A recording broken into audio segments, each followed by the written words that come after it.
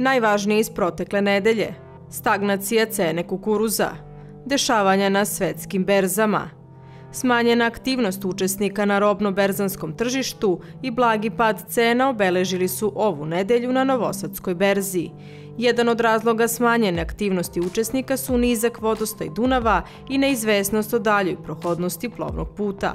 Ukupan promet na produktnoj berzi za ovu nedelju iznosio je 925 tona robe, čija je finansijska vrednost iznosila 17 miliona 575 hiljada 250 dinara.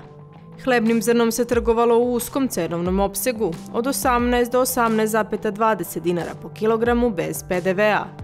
Potražnja za kvalitetnom pšenicom i dalje postoji, dok su prodavci i dalje suzdržani u iščekivanju bolje cene.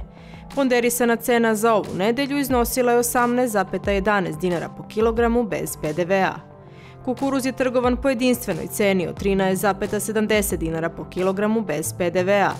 Ovo ujedno predstavlja ovo nedeljnu ponderisanu cenu.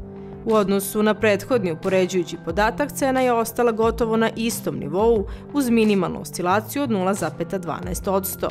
Soja je ove nedelje izostala iz trgovanja na robno-berzanskom tržištu. Tražnja po cenama do 36,50 dinara po kilogramu bez PDV-a nije pronalazila svoje prodavce usled slabe ponude ove uljarice.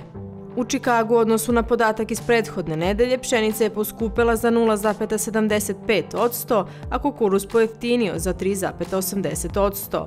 Soja je poskupela za 0,92%, a sojna sačma za 0,39%.